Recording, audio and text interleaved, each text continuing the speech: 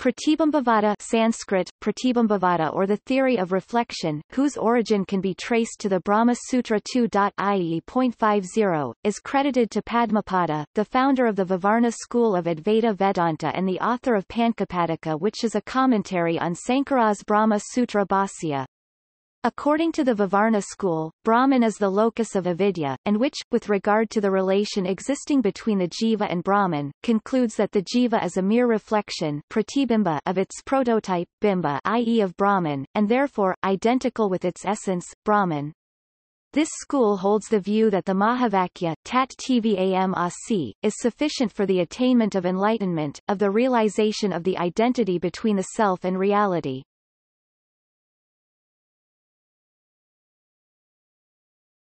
Topic. Vedanta views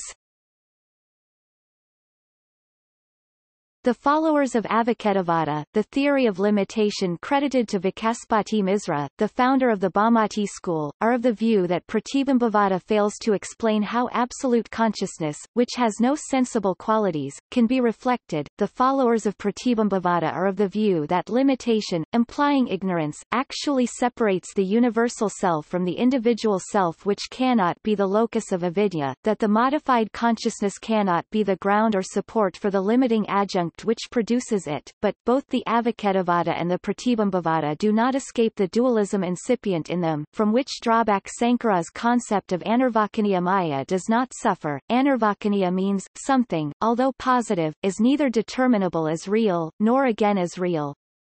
The former lays emphasis on the aspect of abheda non-difference and the latter emphasizes more on the aspect of bheda difference. Sankara sees no connection whatsoever between the self Atman and the mind-body complex except through avidya that gives no real connection but only an imagined connection.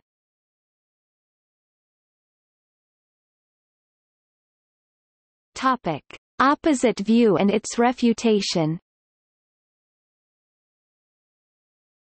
Vardharaya, although refuting non-dualism since plurality of Brahman's attributes is inescapable if the primary sense of the scriptures interpreted is taken seriously, accepts a limited similarity between Jiva and Brahman but contends that if the reflection of Brahman stands for the Jiva, the embodied soul, the same, owing to the obvious dissimilarities referred to, cannot be identified with Brahman then such a comparison only succeeds in annihilating the soul.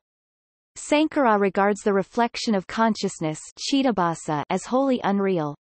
In his Manisha Panchakam Saint 2, Sankara argues that distinctions if any between the one consciousness reflected in the hearts of all and its reflection are delusory.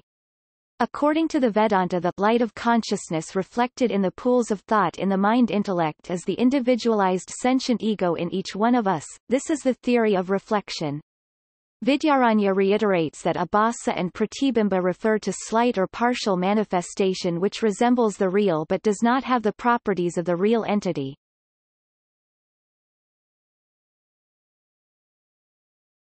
Topic. Role of consciousness and mind The individual soul is only the reflection of the Atman on the mind, this reflection gives rise to a separate sense of ego. The pure consciousness of the Atman is unchangeable, as the reflection of its consciousness falls upon the mind the mind takes the form of the Atman and appears to be conscious. The mind is able to perceive because it reflects both the Atman and the object of perception Yoga Sutras IV.21-22. Whereas Padmapada in his Pancapadika and Prakasatman in his Pancapadika Vivarna hold that Ishvara and Jiva as reflections of pure consciousness, the reflection that avidya nescience superimposed on Brahman receives, that the reflected image is as real as the prototype, Sarvajnatman in his Samksepasariraka states that pure consciousness reflected in nescience is Ishvara and the same pure consciousness reflected in the inner sense as the Jiva on which account Ishvara, as a reflected image, is subject to the defect of avidya inasmuch as when characterized by nescience the self is construed as a witness, when identified with the intellect, it is taken to be the knower. Pratibimbavada implies the belief that the whole universe is merely a projection of the mind, has no essence of its own and is unreal, the mind simply projects its own contents on the world and believes them to be real.